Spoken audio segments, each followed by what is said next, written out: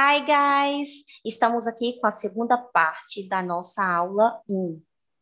Vou compartilhar a minha tela novamente e vamos prosseguir. Na primeira parte da aula, nós vimos um pouco sobre vocabulário.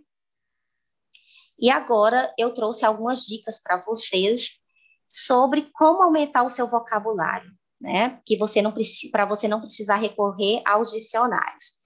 Eu trouxe aqui para vocês é, um vídeo que fica como leitura, né, como aprendizagem complementar, e seria de grande valia se vocês tiresse, tirassem um tempinho, é um vídeo curto da professora Karina Fragoso, que é uma English teacher, que inclusive tem canal no YouTube, e também no Instagram, e ela traz várias dicas de inglês. E esse vídeo em específico é, traz sobre como aumentar o seu vocabulário em língua inglesa, aprendendo alguns prefixos e sufixos. Uma outra dica é de aplicativos para vocês baixarem para o celular. Eu trouxe aqui como dica o WordBeat, que é um aplicativo próprio para aumentar o seu vocabulário. E consiste no seguinte: depois que você instala o WordBeat, né, que sua tela ela fica bloqueada, todas as vezes que você for desbloquear a sua tela do celular, aparece uma nova palavra. E ali aquela palavra vem com a tradução, vem com a pronúncia, o áudio, e também a aplicação dela em alguns contextos, né? Um exemplo de frases, inserida em várias frases. Trouxe também aqui um aplicativo, é, há aplicativos é, mais é, bem elaborados, aplicativos melhores para aprendizagem, mas eu trouxe o Duolingo porque ele é gratuito, né? Eu, eu poderia trazer para vocês também o Buzu, mas ele é gratuito até um certo ponto e você tem que pagar, que é considerado melhor que o Duolingo para aprendizagem né, de língua inglesa. Mas eu trouxe Duolingo como uma proposta de você aumentar o seu vocabulário. Né? O Duolingo traz lições é, de situações práticas, cotidianas, que vocês podem utilizar no restaurante, no hospital, no aeroporto, é, num ponto de ônibus, numa faculdade, numa escola ou no ambiente familiar. E como sugestão de site, mas que existe também em, é, como aplicativo, é o Anki. Né? Está disponível nesse site aqui.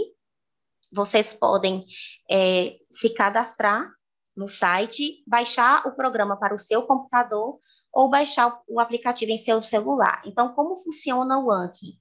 O Anki, pessoal, vocês podem inserir frases ou até mesmo palavras e funciona por meio de baralhos. Nesses baralhos, vocês mesmos digitam a frase, colocam a tradução, vocês podem fazer upload de áudio, ou seja, de como se pronuncia aquela palavra ou aquela expressão. Ou vocês também podem gravar com a própria voz de vocês. Por exemplo, I was born in Brazil. Né? Eu nasci no Brasil. Então, vocês podem gravar com a própria voz.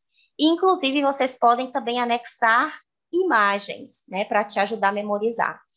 E é um, um, uma inteligência artificial que consiste em te relembrar aquelas cartas que vocês tiveram mais dificuldade para é, lembrar o que significa.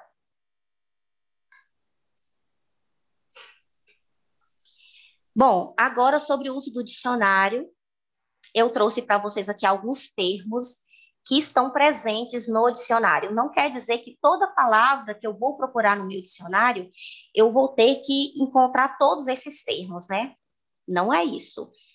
Eu trouxe essa, essa quantidade, né, essa lista de termos aí que podem vir em verbetes né, naquela palavra que você está procurando especificamente. Então, quais são esses termos que estão presentes no dicionário? Entrada, nós vamos ver um por um.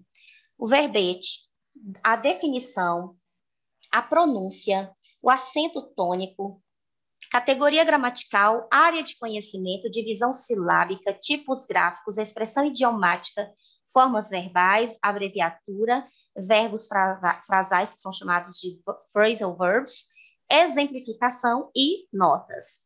Então, aqui eu trouxe uma página é, de um dicionário físico, tá? E aqui vocês estão vendo essa palavra em negrito, essa aqui é a entrada, ou seja, o que, que é a entrada? É a palavra principal pela qual você procura o significado.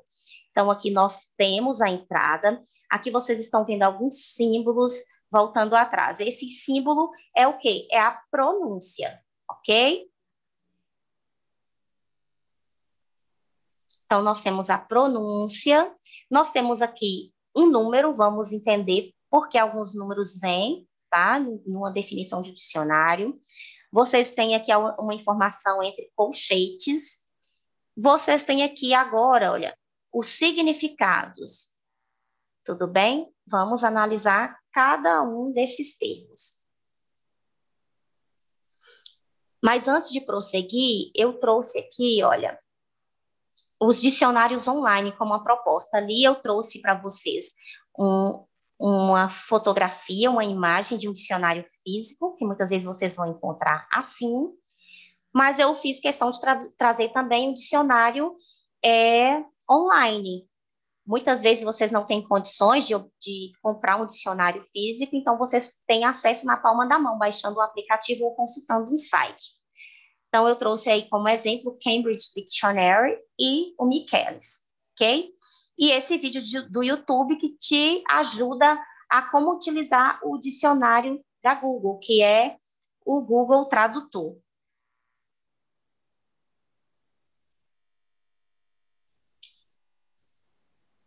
Agora é a hora de nós praticarmos, tudo bem?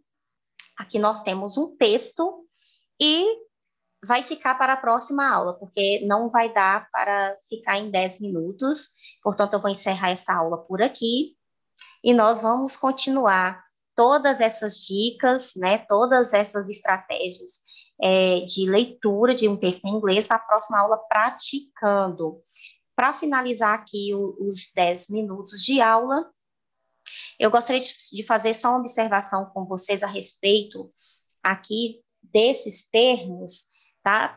Para vocês ficarem atentos, porque há uma diferença entre pronúncia e acento tônico. Pronúncia é como se pronuncia a palavra. Nós temos um dicionário global, tá? Que traz os símbolos e quais são né, as pronúncias referentes àqueles símbolos.